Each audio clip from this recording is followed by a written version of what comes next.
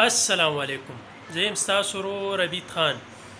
ګرانو ملګرو د شیخ ادریس صاحب د واده واقعیا په تاسو باندې اورم د جمعې شپه هم ده او شیخ صاحب د خپل واده واقعیا بیان کړې ده دوه میلټه بیان دی او زمونږ خويند او مین لې په کې اخیره کې یو پیغام ورکلې دی نو راځي دا بیان لک شانته ورو به سپورو سزا خپل یو دوه خبرې کوم راځي دا بیان وو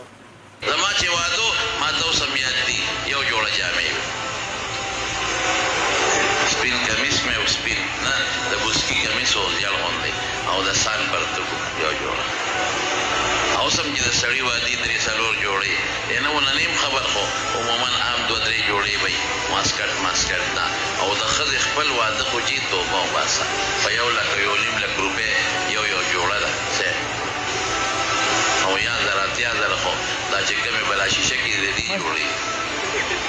یو لک او یو نیم لک جوړه او بیا دا هغه چې ودیږي د هغې خو څلور پنځه صندوقه پرېږده هغه خو دي دي او چې کومې عامې دي چېرته د ترور د ماما د لور چېرته تور ته تورې ختلي او لرې رشته داري یې وي هم درته وایي وي نه ما له به جامې دې حواله جوړه.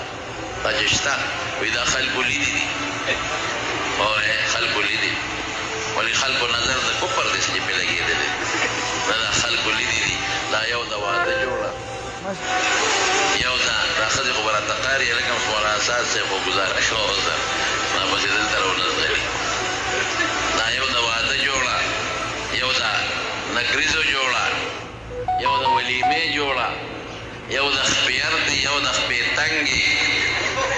روڼې والا دا دومره جوړې او چې معمولي خبرې ډاکټر له منډه ځغلاوه پلار کره د موټر ولاړې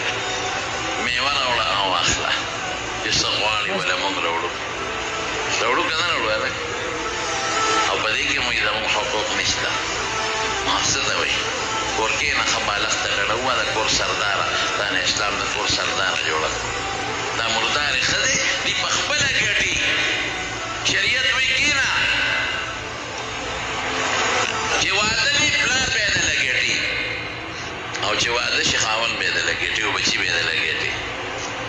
او چې واده نه نو رحمت يې په کور کې لور رحمت د رحمت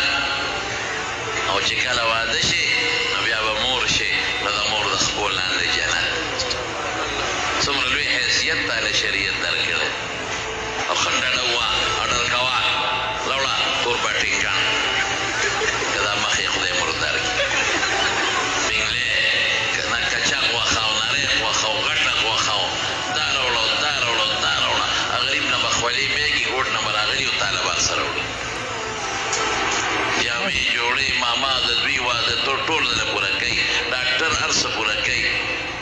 غریب ته له کور جوړی هر څه یې دله برابر کړی ها پخوانی ښځو غریبانانو به سوباړی وال اوس یې ته مشینونه ایښودی په دی کی هم دا بعضی مرداری وی زموږ حق یې امید لرم چی د شیخ ادریس صیب دا بیان به تاسو اوریدلی نو شیخ ادریس صیب ته ټول په کمینس کی ماشاالله هم ولیکی او د شیخ ادریس صیب دا بیان د مخکو ملګرو سره هم شریک کړئ. نو د شیخ ادریس صاحب د اشعار شان بیان ما ته مخې ته راغلی مال چې تاسو سره هم شریک کم نو زمونږ دا چینل مو سره سبسکرایب کړئ چې تاسو ته په ټیم ټیم داسې ویډیوګانې ملاویږي او اوس ما ته اجازه راکړئ د بلې ویډیو پورې د الله په امان